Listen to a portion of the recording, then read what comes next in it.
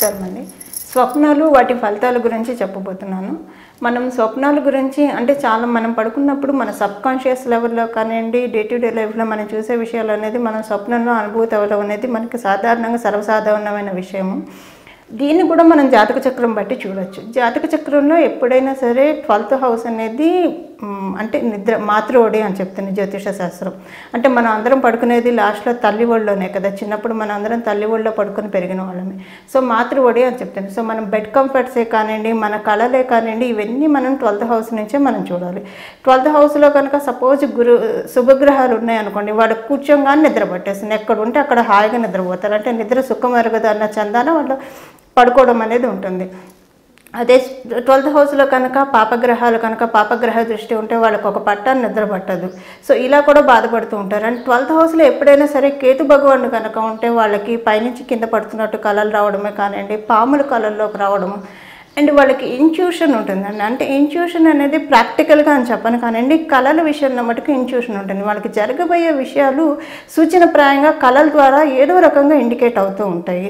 So మనం కళల్లో కొన్ని కళలు వాటి ఫలితాల గురించి చెప్పబోతున్నాను. కళల్లో ఎప్పుడైనా సరే సూర్యుడు అంటే మనం వెళ్తున్నప్పుడు సూర్య వెలుగులో మనం నడుస్తున్నట్టు కళ వస్తుంటే కనుక మనకి అంటే with in short time of స్పాన్లో వాళ్ళకి కొంచెం కీర్తి ప్రతిష్టలు సూర్యుడు ఎప్పుడైనా సరే కీర్తిని ఇస్తాడనమాట అంటే కీర్తి అంటే నేమ్ అండ్ ఫేమ్ సో ఇలాంటివన్నీ సూర్యుడి ద్వారా వస్తాయి.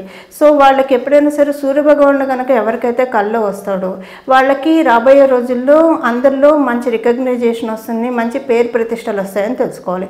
అలానే చంద్రభగవానుడు కనుక కల్లో వస్తే మానసిక ప్రశాంతత ధనయోగాలు అంటే వీళ్ళు ఏమన్నా పనులు కనుక చేపట్టి ఉంటే కనుక అంటే బిజినెస్ మొదలు పెట్టాలన్నా ఏదైనా డబ్బుల కోసం వెయిట్ చేస్తూ ఉంటే చిరకాలంగా వెయిట్ చేస్తున్న అమౌంట్స్ వాళ్ళ చేతిలోకి రావడము ఇలాంటివి జరుగుతూ ఉంటాయి.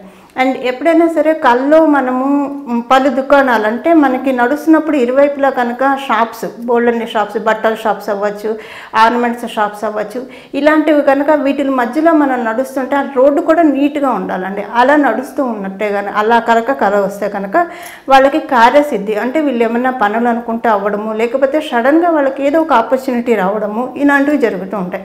అండ్ గోడ మీద నడవడము ఇది కూడా అంటే తడి గోడ మీద నడవడం మంచిది కాదు. మామూలుగా గోడ మీద నడుస్తూ ఉంటే వాళ్ళు ఉద్యోగంలో ఉన్న వాళ్ళైతే కొంచెం వాళ్ళకి ప్రమోషన్ వచ్చే ఛాన్సెస్ ఉంటుంది. ఇన్ కేస్ వ్యాపార రంగంలో ఉన్న వాళ్ళకి బిజినెస్ ఎన్హాన్స్మెంట్ అయ్యే ఛాన్సెస్ ఉంటాయి.